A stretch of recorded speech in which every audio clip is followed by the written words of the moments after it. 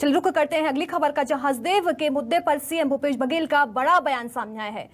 बता दें, उन्होंने कहा कि सरकार ने पेड़ों की कटाई पर रोक लगा दी है और टी एस सिंहदेव की मांग पर रोक लगाई गई है। आंदोलनकारी केंद्र से मांग करें और आगे कहा कि खदान आवंटन केंद्र का विषय राज्य की भूमिका दागिएगी सीएम भूपेश बघेल ने हसदेव के मामले पर बड़ा बयान दिया है। उन्होंने कहा कि सरकार ने पेड़ों की कटाई पर रोक लगा दी है।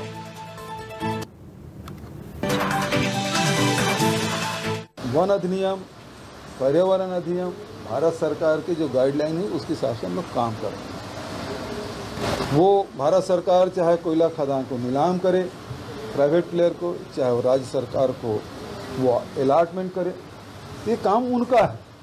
हम तो एक बीच में जो कहते हैं कि डाकिया की जो भूमिका होती है तो उन्होंने आदेश दिया, वो हम कर रहे हैं। अब मैं पहले ही कह रहा हूँ कि जिनको मांग करना है, निरस्त कर, निरस्त मैं नहीं कर सकता। निरस्त भारत सरकार को करना है।